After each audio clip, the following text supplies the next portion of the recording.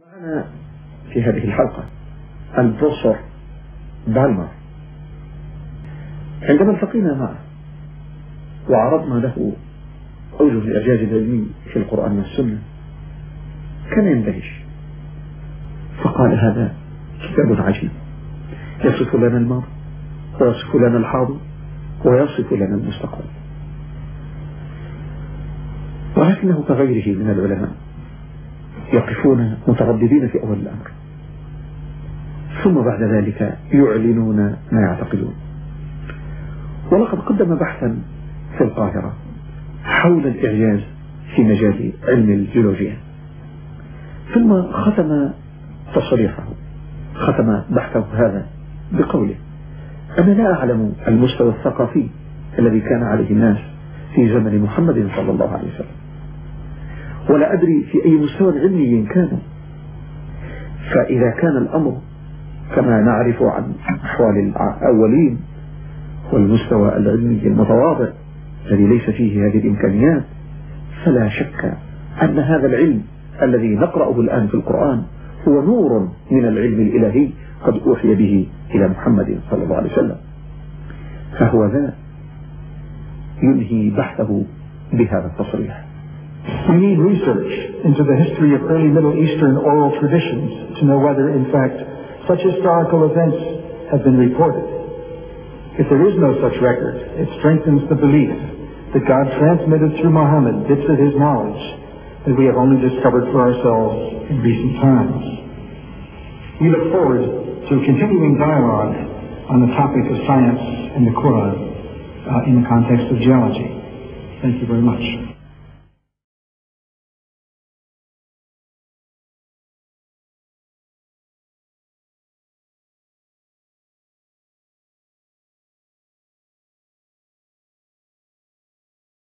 Yeah. So if we start, um, I'll ask you to say your name so that people will know who it is I'm talking to. So could you tell me your name, please? My name is Pete Palmer. And I, is your alias Allison, open bracket Pete close bracket uh, Palmer? I was given the given name was Allison, Yeah. but my parents called me Pete from the start. Right. Okay. I wonder. I wondered why you chose Pete. I thought, you know, is that a name that you chose later? But no. They chose it because on their honeymoon they met a fisherman, an Italian fisherman named Peter Pipicelli, who they really thought was pretty neat. And and after they gave me this family name, the Allison is my father's name, and my his father's name uh, was involved. Uh, they said that's not a nice, that's not a name to call a little kid, and uh, no, they didn't like being anybody being called Al. And my middle name was already occupied by my mother's brother and by my one of my uh, cousins who were in town. So there were too many Ralphies around. So they just said they were going to call me Pete. okay, so right then. Um, now you were featured um, in a video called "This Is the Truth," which was a recording of um, various scientists at various different events. Um, Now, what I'd like to ask you first was, um, what was your first point of contact in this whole affair? Well, the, the very first point of contact was the telephone call I received in January of 1985 from uh, Mustafa Ahmed, who was the North American representative of this uh, group headed by Zindani. And he uh, asked me if I would be willing to answer questions about uh, statements in the Quran that had some scientific uh, implications. And I said, Yeah, I'd like to do that. And they said, Could we come out to Boulder? He was in Chicago. Could he come out to Boulder and could we do a, a, a, meet? And so I said yes. And he arrived a few days later, I don't know how long, much later, with a colleague and uh, with intentions of having me answer all this about 30 questions. And I said, Wait a minute, I can't give you honest answers to most of these because these aren't my field. But then we talked, and I agreed to try to line up some folks who might help him where I could. And that was where we left that first contact, as I recall. Yeah, what was one of the people you re- recommended was Bill Hayes, is that right? Yeah, I recommended. Yeah. I had to go. I mean, I I, I didn't rec- tell tell Mustafa that until I had Yeah. checked around. I, I had people I knew I thought might possibly be open Yeah. to having a conversation like this. I mean, most of my colleagues wouldn't touch any conversation regarding theology with a 10 foot pole. Yeah. So I knew Peter and, and I, knew, Bill, and so uh, I checked with them and said, would they be interested? They, that sounded kind of fascinating. Yeah. Um, when they when they, during this phone call, and they were explaining um, the purpose. Yeah. Uh, now you you mentioned briefly what you said, what they said the purpose was. Can you elaborate on that at all? What what they were saying was the purpose of this? Well, yeah, I don't exactly remember at which which one of several early contacts. Probably, you know, when he came out to my office, I wanted to know what the purpose, more about this thing. Uh, the purpose, as I understood it, was a, a periodic evaluation of statements in the Quran to see how we understand those statements today. In that the Quran had to be the Word of God, and therefore uh, they wanted to know exactly what God had in mind, kind of. You know. uh, and that was that was what I understood we were doing was to try to clarify how you understood these vague statements that were in the Quran in terms of modern knowledge. Right. So by periodic, then does that suggest that he was implying that this is something that they do every now and again? They Yeah. they look at the Quran, look at the words, look at what science says, and say this is what the Quran must mean in that case. Yeah, exactly. Right. So it was kind of, um, it, it- well, effectively a retrofitting exercise. Would that be fair I to mean, say? I think it's perfectly okay. What I mean, you look in the Old Testament, you get some of these vague statements. So what? Yeah.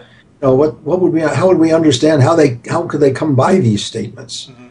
Where did they get the? How did they get this information? How did they get these impressions? Yeah.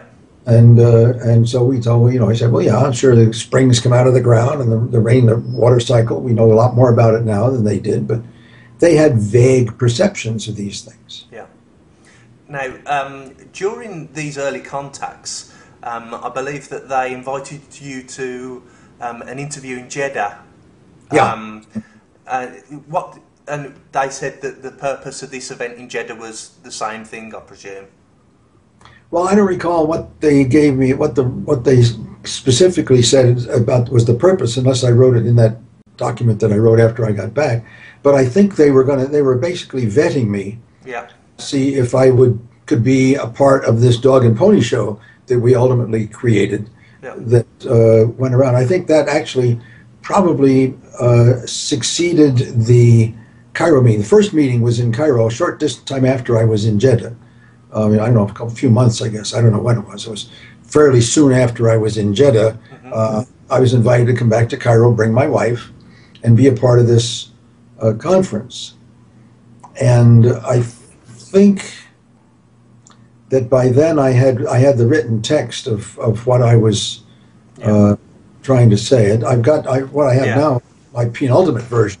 I have a whole bunch of versions without dates on them, so I'm not quite sure when they all came. But but the penultimate version, which is uh, shortly before we, our last contact, is not that much different from what we started with. Just a few minor tweaks Yeah. always always uh, I would I would uh, you know I, I would approve the the the text as I read it. Mhm.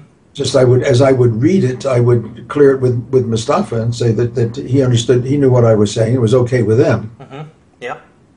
and uh, so I never I didn't feel uncomfortable in the text because in the text I was basically saying there's a but we have to establish.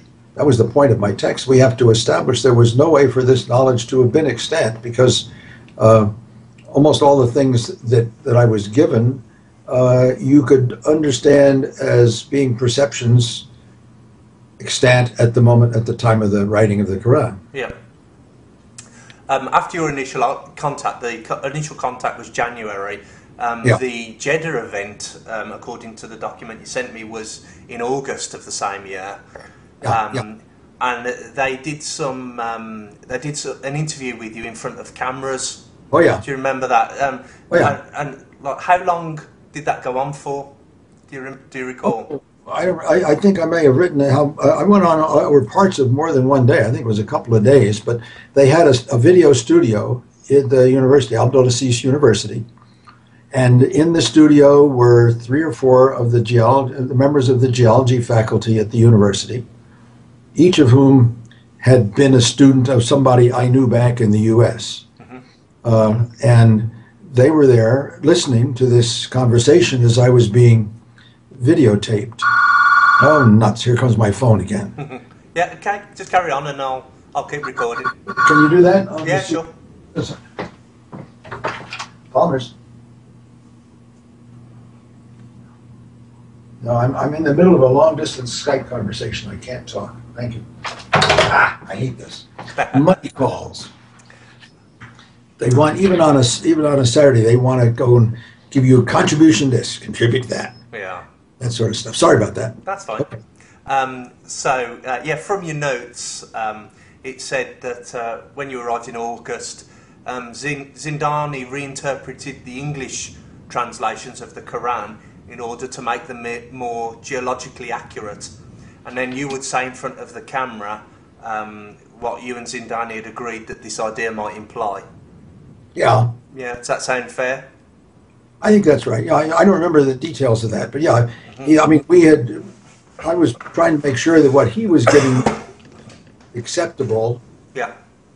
uh, in terms of what we now knew. So yeah, Um, now, according to your notes, this uh, this m- meeting ended with you being asked a, an unexpected question. that I don't remember. That I was. Did I say that? How could Muhammad have known? Oh, well, yeah. They probably asked that, and I said, I don't. I. Uh, you, we have to establish that. We don't know that. And um, I think that I think most cases he would have had to known, but we have to establish there was no way for him to know. yeah, um, Zin- and then you also said that Zindani asked to help you um, to create the draft of a paper summarising the visit, which was going to be uh, presented in. In, I think that was the one you were going to present in Cairo. So Zindani helped you to go through the draft of that paper, did he? Yeah, we worked that draft back and forth, and I mean it was Zindani and myself, and I think Mustafa was involved. Um, Yeah. I think there were we were co-authors, and as we were listed as co-authors, and we worked that over so that, that I was comfortable with the text, and they were comfortable with the text, and this, but it was a text that was essentially skeptical. Yeah. So the the purpose of this wasn't really to um, to portray the um, the opinion that this is all miraculous information. Oh, no. And it, it was it was supposed to be um, this is how we can interpret the meanings of these vague words, um, and uh, we but we've got to be sceptical about how people would have known this kind of thing. I mean, and there was nothing in the geological stuff that could not have been extant in knowledge in the Middle East. The only the only part on all the various things we were given that was was was difficult to under difficult to understand as being extant knowledge was this embryological stuff. Yeah. Uh, but the geological stuff, all of that seemed to me was was uh, you could you could kind of fudge it to, uh, to say that that was those experiences were the kind of experiences people would have in the Middle East. Yeah. They they could be known. There was nothing that precluded that. And of course, the um, the embryology part wasn't your field of No, but, expertise. but it was a, it, it created an interesting question because how could you know uh, about microscopic things before long before the invention of the microscope? So Mhm. that that was just one of those things. I said, well, there's got to be an answer, but I don't know what it is. yeah. Okay. Um, was this a, a low key event? I don't know. I, it was uh, the the one in Jeddah was low key. Mm-hmm. The one in Cairo was uh, they had a big audience. It was mostly medical people. Yeah. and of course the big the big stuff that they were excited about was the was the embryological stuff. I don't think my stuff made much difference or much impact, but we during the time we were there, and I wish I'd written my notes down clearly. We I met uh, with I don't know whether it was the Islamic Brotherhood, some major organi- group. I met with the Secretary General of this group, and I had conversations with him, and I just don't find in my notes his name or anything, but we went to his home and when sat around with a dozen people and had a, a conversation. That was kind of interesting, but I didn't write that. I didn't write down many of the details of that for some reason. But it was not. It was. It was. It wasn't directly related to the conference, but it was while we were in Cairo. I had this opportunity to have this this meeting and conversation, and I don't know whether it was the Arab League or exactly what. I don't remember what it was called, and I can't find a note that tells me. Um, yeah, this is uh, this is the um, Cairo meeting, isn't it? That happened Yeah. then late in late September to early October. I Yeah, that was so. Cairo. Yeah. Um, um, the uh, at the end of the event, the you was uh, you all had a nice time at King Farouk's Weekend Palace, I believe. I don't remember the palace. I remember that there was uh, some kind of a, of a good dinner banquet. I don't remember where it was. I, the only palace I remember was in Islamabad when we were in uh, Zia al Haq's palace and, and had a lecture. He gave a lecture to the whole group, Yeah. and we stayed for dinner. And this was a spectacular, really neat event. You know, to do that. But that was that was in that was in Islamabad. That was the next conference.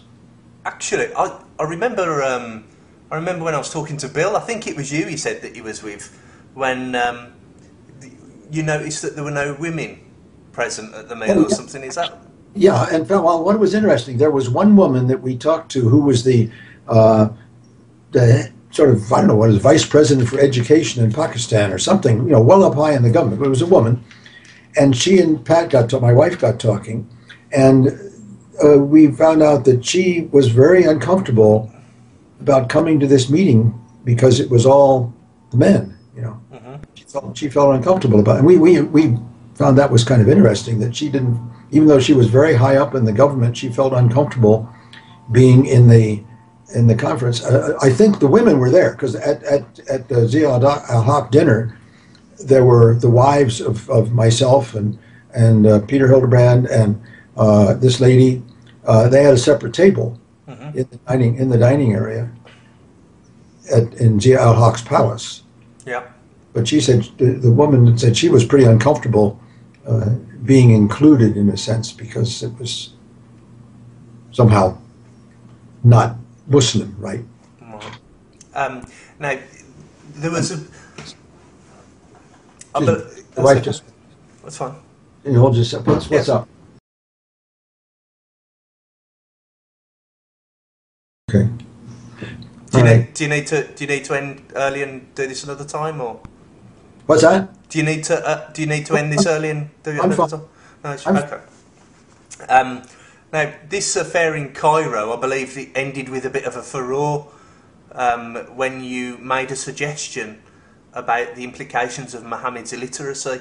No, no, that was us, Islamabad. That Oh, wasn't that Cairo. was, oh, was it Islamabad?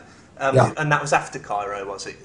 that was after Cairo. And, and exactly whatever dates they were. We uh, we went to Islamabad, and that was the conference where I responded to a couple of Egyptians who, when I suggested that that we have to know that there was no way for Muhammad to have been involved in this, and they stood up and challenged me and said, "Well, but Muhammad was illiterate," and I said, "Back, there's a difference between being illiterate and being stupid." And I think he was probably a very brilliant man, and that uh, got me in trouble. Rescued partly by a, a jet black Somali Supreme Court judge who was trained in England, had perfect uh, Oxford English, who stood up in the audience and said, uh, "He's right.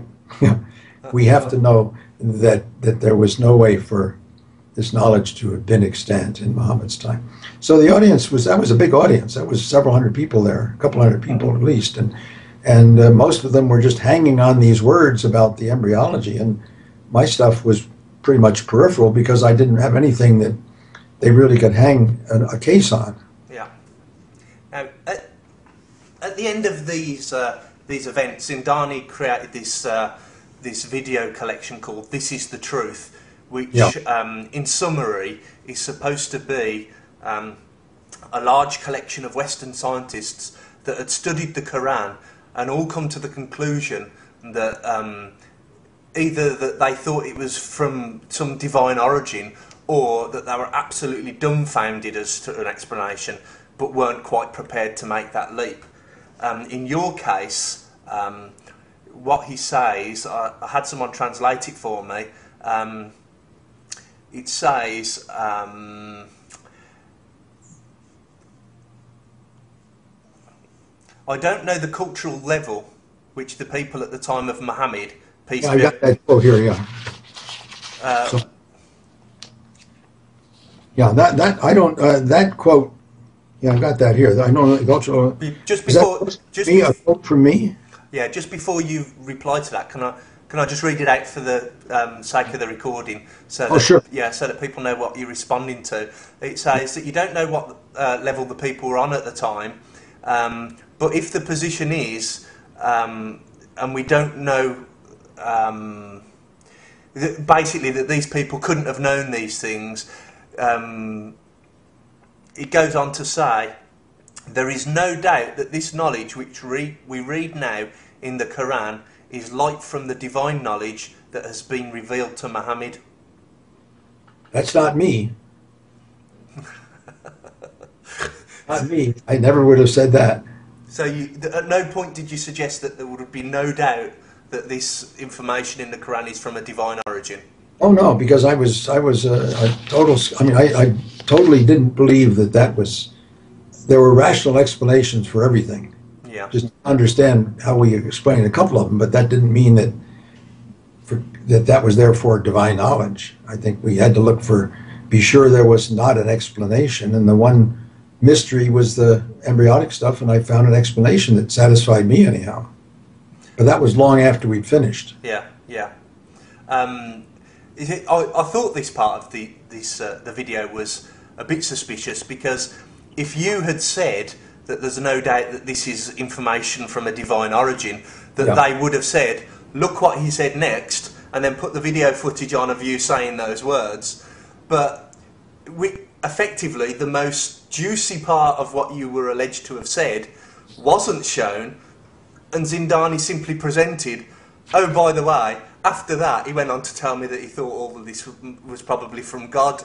So I always thought that bit was a little bit suspicious, just to say the least. I never, I never, to my to my knowledge, uh, believed that that this had a divine origin. It had a it had a rational human origin. Um, an- another thing that I actually remember um, reading from that script is that you were apparently astonished by the accuracy of the information in the Quran, and you said, "What is this wonderful book?" Doesn't sound like me at all. The, I, I believe that the information that he asked you to look at was um, something about the, lowest point. yeah, I mean that was that was in the first interview in Jeddah Yeah, where they they had this because I had brought my globe with me. Mhm. You know, I, I'm familiar with this globe. It's a really neat globe. It was put out by the National Geographic probably 40 years or more ago, but uh, they had this statement, and they were right there printed on the globe was lowest point on Earth, and so I said that's that's kind of neat that they uh, that the Quran mentions that, but uh, it doesn't prove anything particularly because they just happen to be in the right area. yeah. I mean, what what would you describe? Uh, how would you um, explain that information being within the possibility of human knowledge at the time? Is that something that you would be able to see? Um, you would be able to look around and say, "This looks like it's the lowest place in the region." I, I mean, if the, people of that time, I think, yeah, that was that was probably uh, known that that was the lowest point in their area, their world. Um, Uh, just happened that the Quran had it right, but it wasn't because uh, uh, it was a bit of divine knowledge. That was bit that was merely the Middle Eastern uh, state of the Union. they, Still- th- th- it was possible that it was known locally as the lowest place. Yeah, sure. And um, I seem to remember we discussed this before, and you said something about it's possible to see that it's lowest place because it would be the only place where you can see that you're lower than sea level or something. Does that sound familiar? Uh, I don't recall saying it quite like that because I, I wouldn't know. Uh, I probably didn't think about how would they how would they measure it, except they you know because they would have to have some way of of getting some crude measurement that said this was lower than the the Red Sea. Mhm. Um, and maybe that's all. They just figured that they had some sense of elevations by then. Maybe the Romans had done that. Yeah. Uh, so they had that they had that knowledge, but I didn't. Uh, I don't. I never was I thought it was just kind of neat that, that they had it that they had it as the lowest point, and that's what the Globe showed it. But that didn't mean anything else. Um, I mean, really, this is this is basically the end of my uh, of my prepared questions. Um, Okay. So uh, th- there's a few questions that I'll, I'll ask which are a bit silly, but I- I have to ask these because of the kind of responses I've had to my other interviews. Okay. Uh, so uh, the first one. Um, um, did you become a Muslim? No, Okay. Um, have you been paid by me or anybody else in order to participate in the interview that we are having now? no, not a bit. Have you been intimidated by anyone uh, to retract your original statements? No. Uh, I'm that my original statements, as as you've got them, may not be quite accurate, but but I haven't been intimidated by anybody. um, are you are you in fact an imposter? What do you mean by that? Uh, I, I don't know. I, I What do you suppose mean? could, could could you possibly be um, an actor with a latex mask on? No, no, I did all that stuff. Uh, I had to ask you that one because I, I have actually been asked, how do I know this isn't an actor with a latex mask on? Sure, I mean that's fair enough, but, but I don't know how you how you could prove it's not. well, could, you could pull a, pull at your face or something. Yeah. But no, I don't think we'll go down that route. Um, now, what struck me with um, with this whole whole um, series of events was that different scientists went on um, went to different venues at different times, and they all seem to have had different experiences. Um, in Bill Hay's case, he was told that he was trying to um, he was trying to help the Mullahs uh, feel more comfortable about science and to convince them that their religion said that they should really be embracing science. Um, Alfred Kroner said that it had the meeting he went to had nothing to do religion whatsoever. It was just a geology uh, meeting, and then they sprung some cameras on them and asked them lots of leading questions. Um, in your case, um, it seems to be um, the probably the very initial point of contact, um, where they were saying that they're reviewing the meanings of the Quran to make sure that they've got them correct, uh, that they're matching them up to what science says now. Um, because you did a kind of um, a pre-written talk, a prepared talk, it's um, it's obviously not been so easy to quote mine you, um, and you haven't actually had any people write to you and ask, "Do you believe that the Quran is from God?" Is that right? no, no, never. It's it, your your experience is really in contrast to other people because um. Alfred, for example, said that he's had hundreds of people write to him, and he, he had a, a pre-written copy re, copy paste response. It, it'd say "Dear XXX," and then the explanation. Um, Bill said that he had quite a number of people because Bill was obviously quote mine saying, "I think it must be from the divine being." Um, so obviously these other people have been uh, quote mine. So my purpose really in talking to you was um, because you seem to have been the initial person that they contacted. I was really kind of interested in um, the origins of this affair, um, what they originally said it was for, um, how other people got involved, and so on. Um, It's been really interesting having you explain that to me. Um, it's been really interesting hearing about your experience of uh, when you flew out, and it seems that you have uh, you've been flown out to various places on quite a number of occasions as Oh, it well. was wonderful. I mean, it was not, it, it's way to go. First class air return air flight from Denver to Islamabad. Yeah, Don't mind that a bit. It's a long flight. Uh, I think the only one, the only meeting that Bill Hay was at was the Islamabad meeting. I don't think he was at any others. I think he, he said he. oh, I don't, that I don't really recall. Yes, there was one I missed. It was in Moscow or somewhere in Russia that I was not able to get to. Ah, I've never heard of a Moscow one. There was one. There was one after. There was somewhere in between. I had a conflict, just couldn't go to it. But it was. Uh, I'm pretty sure it was somewhere in, in maybe just in the Soviet Union. May have been in the Islamic part. I don't remember where it was. It could have been in uh, in uh, Kazakhstan or Tashkent or something like that. But I didn't go to that. So, and I don't seem to have the correspondence about that in my folder. Yeah. But and Bill might have been there. Mm, yeah, he didn't mention Moscow. I haven't heard of that. I think he mentioned, he definitely mentioned Islamabad and mentioned longboat trips and things. And I, I don't really recall. I, I, I was under the impression, I thought he went to Jeddah as well, but I'm probably mistaken. He might have gone after me because at the time I went to Jeddah, they didn't have those contacts. I hadn't made those contacts, Yeah.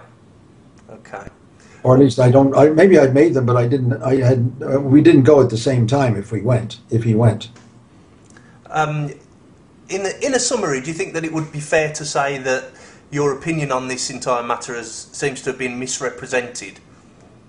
well, as you present it to me, Yeah. uh, it seems like in some cases I've been misrepresented. Fortunately, I have the text of what I read in all those meetings, Mhm. and I didn't deviate. You know, I didn't didn't deviate from that text in my presentation, and in the question answers, uh, I didn't get. I, I always said, you know, we have to we have to establish that there was no way for this knowledge to have been extant at that time. And do you in any way endorse the proposition that the Quran could only been have come about through some supernatural origin? No, of course not. Right. Okay. And finally, um, just for um, to cover myself legally, do you give me permission to make the contents of this video recording public? Yeah, I kind of would like to see it. Yeah. You're going to public before you do it. Well, what I'll do is I'll. Um, it's going to be uploaded in its entirety unedited, so it's going to include people phoning you up to ask you about financial matters and things. It, it'll all be there because I, I literally want it to remain 100% uncut. Um, because the the name of the channel on YouTube is "This Is the Truth Uncut." So I, I can't really edit out the phone call because of the, then it'll be cut. So I'll, what I'll do is I'll upload it and um, I'll let you have a look at it first. And if you're not happy with it and you want me to get rid of it, that's fine. And if you're happy with it, then I'll make it public. Okay. I mean, I I I enjoyed my contacts with everybody involved Yeah, in this. I so I and I I know I wasn't vehemently uh, trying to contradict them, Mhm. but I was just saying that that from my point of view, we we didn't we have to have conclusive evidence that there is no way for this to have been extant knowledge, yeah, and we didn't change that. We had a lot of you know private conversations along these lines without. I mean, they we just kind of agreed to disagree, and I think in the New York Times piece, uh, which Don Golden wrote, Dan Golden wrote, uh, I'm Zindani is quoted as saying, "I was the one who wouldn't commit." right. There you are. That's that. So- that was accurate then. That was accurate. Yeah, definitely. I think the thing is though, is it wasn't entirely accurate because uh, um, I haven't actually yet spoken to a scientist that did commit. I've spoken to about five or six on the phone. You're only the third video interview I've done so far, um, and so far, every single one of them said that just wasn't my opinion at all. Um, so it would seem that you weren't the only one that wouldn't commit. Maybe what he really meant was uh, the others were much easier to make it look like they'd committed. They may have been, maybe they were more tactful. I don't know. yeah, they were a bit more polite, I think, maybe. right, okay. we had uh, very frank conversations. I mean, Yeah. I, I, because I, I, don't mind discussing theology with theologians. That's I think I enjoy that. Yeah, And so I, we had discussions about where I came from and why I thought the way I thought, and and uh, uh, that was okay. hmm So I never felt I was being sort of argued with or twist had my arm twisted or anything No. like that. no, no, doesn't sound like you were. But as long as uh, as long as people realise that um, if someone uses you as um, as an authority on the um, the information in the Quran regarding geology, and that you as this authority say you've really really got to be impressed by this. You know, you should be quite convinced that this is um, this is beyond the ability of a seventh century human. That they know that, that this isn't something that they should be listening to. No, I never, I never implied that at any point. That's brilliant. Right, okay, thank you very much. Um, You're welcome. Pete, Pete, who's na- hasn't got the name Pete in his real name anywhere. Pete Palmer, thank you very much for your time. Thank you very much. Oh, you're welcome. Okay. Thank you.